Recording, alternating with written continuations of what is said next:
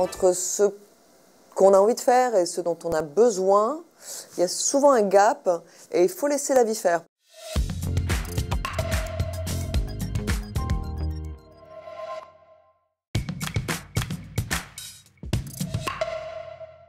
Oui, je pense que je suis...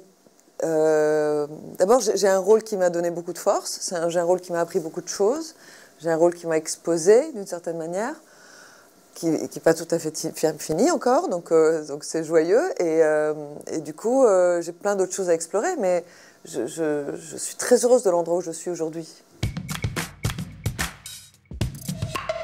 On propose beaucoup de rôles qui sont très proches de Sylvie.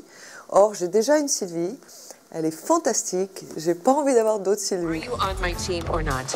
I was beginning to wonder if you were joining us at all. I'm so in on team whatever this company's called. Do they know that you're pulling double duty? Oh God, no. Ça arrive à tous les acteurs. Quand vous avez un succès dans un rôle, à ce moment-là, il faut euh, répéter, euh, voilà.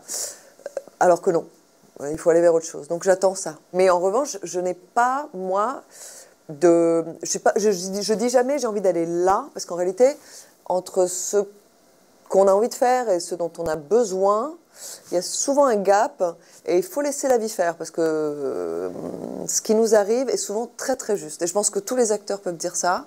Ils se disent Oh, j'avais jamais pensé jouer un truc pareil. Et puis finalement, euh, waouh, wow, c'est dingue ce que. Et ça, c'est plus intéressant que de se dire J'ai envie de jouer. Je. J'essaye de laisser les choses se passer. D'abord, moi, je suis super contente d'être là, mais je le dis vraiment pas parce que je suis là. En fait, je le dis parce que je trouve que c'est super d'abord. Ce, festival est en train de grandir, c'est super important pour les séries. La série est évidemment devenue un langage très très important. Euh, on a besoin d'un festival international. D'ailleurs, la preuve, c'est que quand même Brian Coates se déplace. Enfin, il y a pas mal de gens qui viennent. Euh, je trouve ça mais épatant et en plus, euh, voilà, je, trouve que la ville est super sympa. C'est hyper important que cette ville et cette région aient des événements comme ça c'est inspirant, quoi.